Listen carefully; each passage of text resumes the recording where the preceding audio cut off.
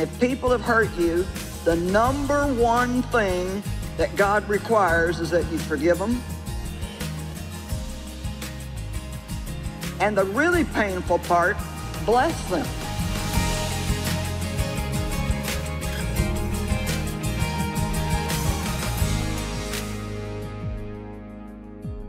So we're talking about pressing into new beginnings and that in order to do that, you have to always be willing to let go of what lies behind. How many of you have had something in your life that you put a lot of yourself into and it just didn't work out? Okay. Well, you got to be very careful that you don't just get stuck at the things that didn't work and let them get you to thinking that you're just a failure and that it's all over. Because I'll tell you something, God is never without a plan. No, you may not know what the plan is, but God knows what the plan is. Now, in the book of Samuel, there's Samuel 1 and 2, we read about King Saul. Now, first of all, God never wanted the people to have a king. He wanted to be their king. But he, the people insisted on having a king. So he anointed a man named Saul to become king. The Bible says that when the Spirit came on Saul, he was turned into another man. And that's what happens, man. When the Holy Spirit comes on you, whatever you were before, you can kiss goodbye because he's going to turn you into a brand new, sharp, threshing instrument. Uh, do you realize, do you realize that we have world changers sitting in this room today? I'm telling you, when God gets hold of you, man, it's all over but the shouting for the devil because if you really stick with God and do what he leads you to do, I mean, you just have no idea what you can accomplish and what you can do. I mean, I'm from a place called Fenton, Missouri. Now, I've got a lot of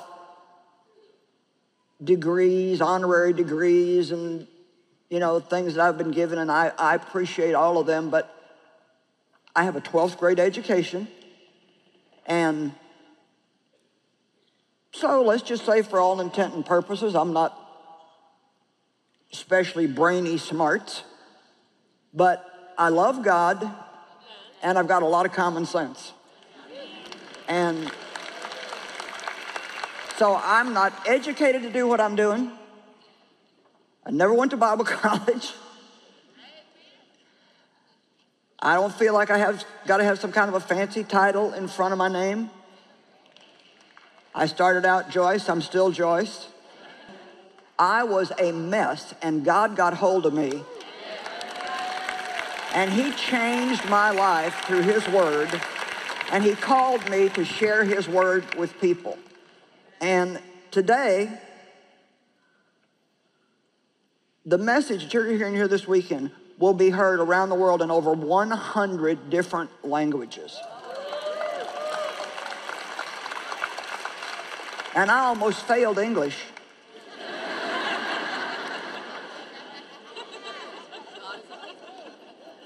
I didn't care if it was a noun or a pronoun or a verb or what it was. I just wanted to talk. And so now people think I speak all these languages and I'm still working on English. I'm trying to get a point across that really, to be honest, it's God that makes you special. And you don't have to have a bunch of special stuff going for you for God to use you. All you have to be is available. Here I am, God, use me, send me.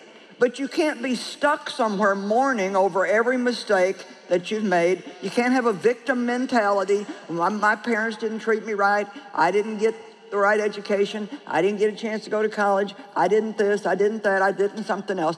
It doesn't matter what you don't have if you do have Jesus in your life.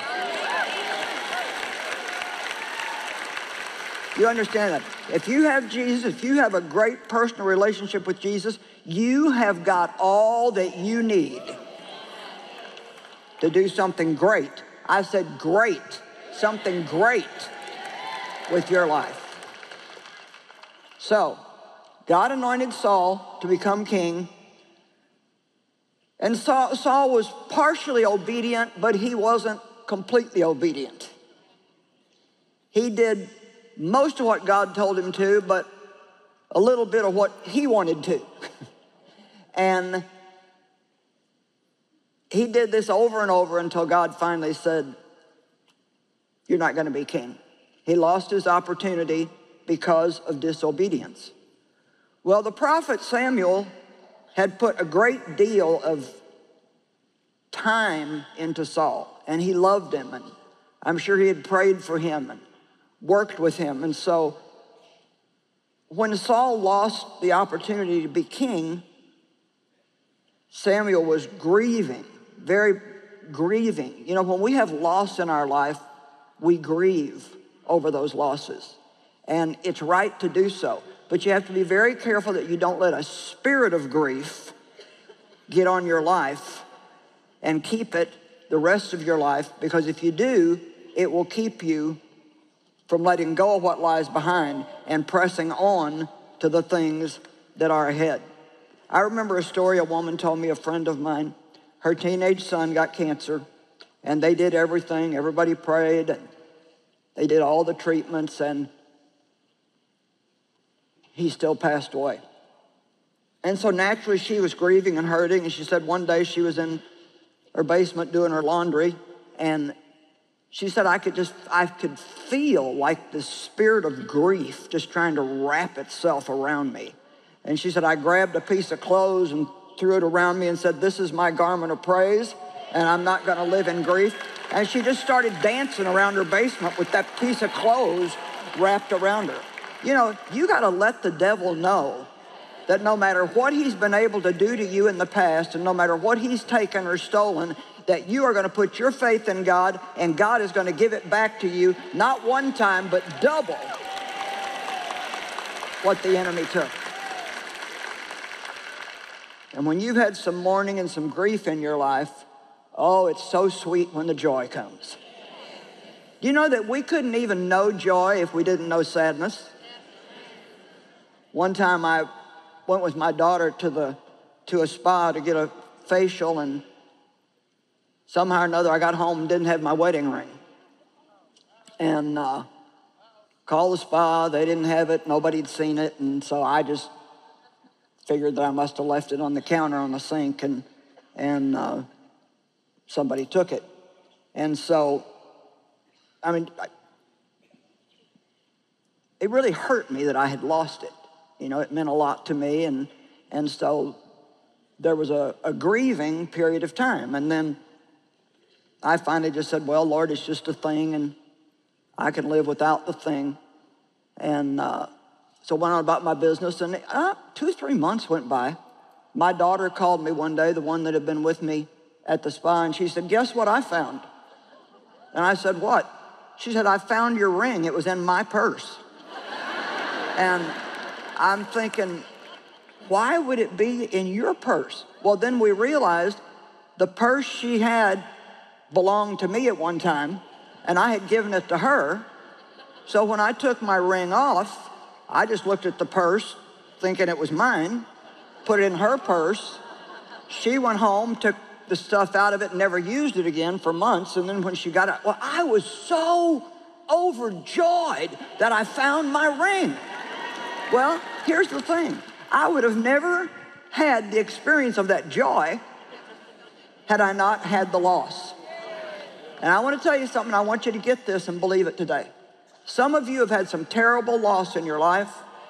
You've endured tragedies, injustice, things have happened to you that are not right, that are not fair, and it's been hard. But oh, Oh, come on now, you know where I'm going. Oh, I'll tell you what, if you won't have a bitter attitude and you won't take on a victim mentality and you'll go ahead and love God and be obedient to Him and continue to try to help people, oh, your reward is going to come and you are going to be so overjoyed. So don't look at what you've lost, look at what can happen in your future. You know, Martha said to Jesus, her brother Lazarus had died, and she said, Jesus, Lazarus has died. If you would have been here, he wouldn't have died. And Jesus said, He will rise again. Martha was looking at what had happened, Jesus was looking at what could happen. Come on, which do you want to do today? Keep staring at everything that has happened, or do you want to get excited about what God can do in your life?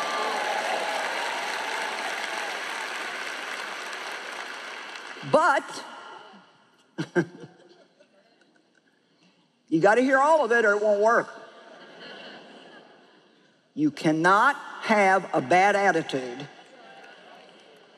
and also have the great life that God wants to give you.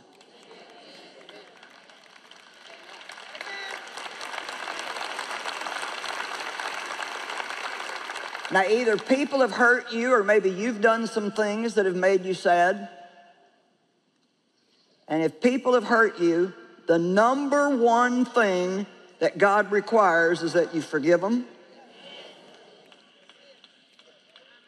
And the really painful part, bless them. Oh. Oh. My goodness. Let's read it. Luke 6, beginning in verse 27. But I say to you who hear, love your enemies, do good to those who hate you. now, I'm not making this up. This is, it's like you got to be kidding, God. Bless those who curse you, pray for those who abuse you. To one who strikes you on the cheek, offer the other also. And from one who takes away your cloak, don't withhold your tunic. Give to everyone who begs from you, and from one who takes away your goods, do not demand them back. okay. and as you wish that others would do to you, you do also unto them. My goodness, what if the whole world lived by that? Treat other people the way you would like to be treated. Now, I'm going to take the time to read this because we just need to hear it. If you love those who love you, what benefit is that? For even sinners can love those who love them. and if you do good to those who do good to you, what benefit is that to you? For even sinners do that. And if you lend to those from whom you expect to receive something back, what, what credit is that? Even sinners lend to sinners to get back the same amount. But love your enemies and do good and lend expecting nothing in return.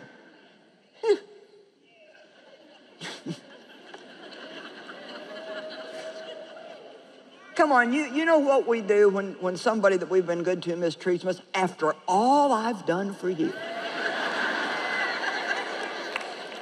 But if I'm reading that right, it says, no, no, no, no, no. You don't do stuff for people expecting them to do something back for you. You do it unto God, and you expect your reward to come from God. You may not get rewarded from the person that you were good to. They may be the very people that take advantage of you and hurt you. But if you keep, if, if you keep a good attitude and just do what God's asking you to do, there is no devil in hell that can keep you from being blessed. Amen? Y'all agree with me way up there? How about all the way up in the back, way up there? You agree with me? Make some noise. But Joyce, that's so hard. You know what? That's an excuse we have to stop using. You know why? Because we're anointed for hard. We don't need the Holy Ghost to do easy stuff. But there's nothing that we can't do that God wants us to do if we will learn how to depend on God and not depend on ourselves and our own strength to pull it off. I'm saying there is nothing that you can't do. God will never allow more to come on you than what you can bear. You may think right now you're in over your head and you just, I just can't do this. I can't, I can't make it. I'm not going to make it. Well, yes, you will. Because there's been all kinds of things that I thought I'd never get through and I'm still here. And how many of you can say the same thing? You've gone through things that were so hard, you didn't think you'd make it, but you're still here. And your reward will be great. oh. All these things I've read, he says, and if you do them, your reward. Come on, some of you right now, you're in the, you're in the sowing stage of your life. Some of you are in harvest. But you didn't come to harvest without digging up the fallow ground and planting the seed and waiting and going through hard times. Maybe you had a few crops that failed, but you just kept planting and you kept planting and you kept planting. And now you're in a season of reward. And those of you that are sowing and life is hard right now, just keep doing what's right. Saul would have remained king if he would have just kept doing what God asked him to do. But no, he had to have a little bit of his own will in there. Well, I almost did everything you told me to.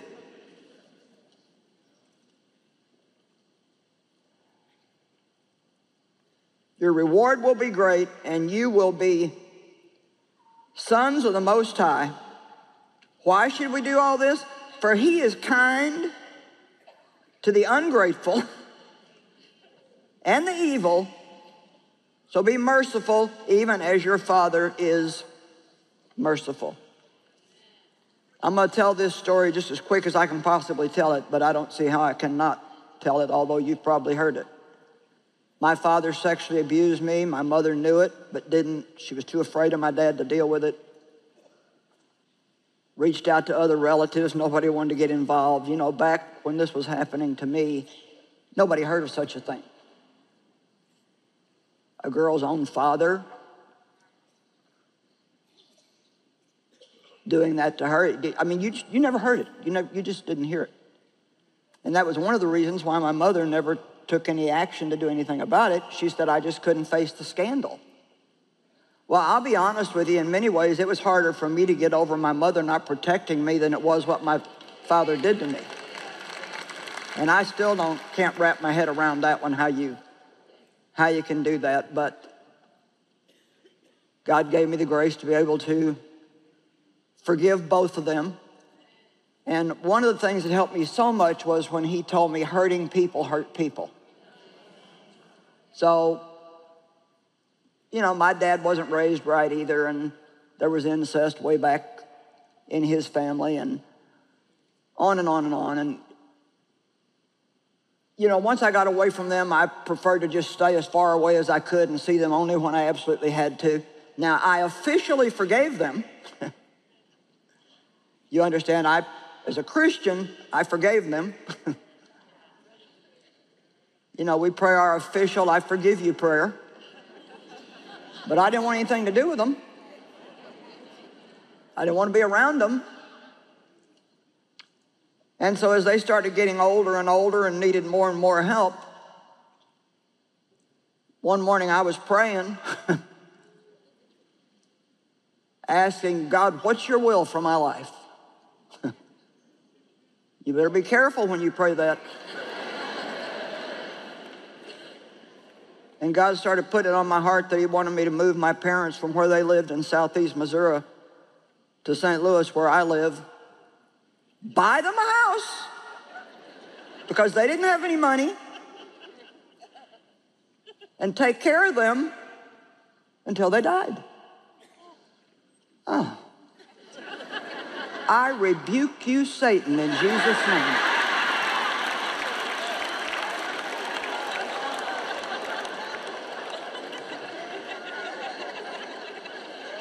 Yeah, and some of you are trying to rebuke the devil, and it's not the devil. Just because it's hard, that doesn't mean it's the devil. Anyway, long, long, long story short. I tell it often, but it's it's just such a great example. I don't know how, but God gave me the grace to do what He asked me to do. And the thing is, I can tell you, I think as far as power against the devil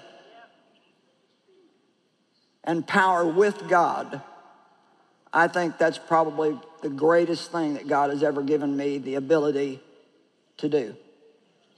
When you can find the grace of God to love somebody who's done that to you and to spend your money on them and to take care of them and to do it for a long period of time. Now that takes a lot of God. But if you do what God tells you to do, your reward will be exceedingly great. Come on, I'm trying to push a few people over the edge today.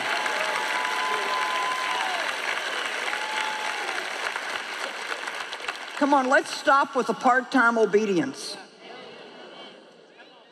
How many of you think there's power in the name of Jesus? Well, guess what? I didn't get Dave's name while we were dating. It wasn't until I said the I do, till death do us part, and then I got his name. You know, a lot of good stuff happened. I didn't have any money when I married Dave, and he had a little money, and once I said I do, I had money.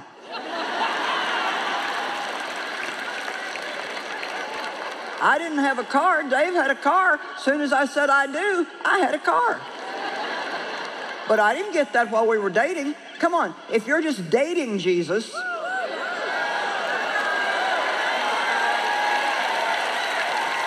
come on.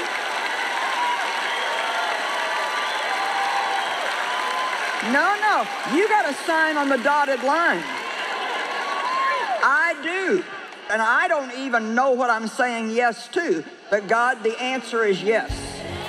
Why? Because I trust you enough to know that whatever you want me to do, whether I like it or not, no matter how hard it is, it will be the best thing for me.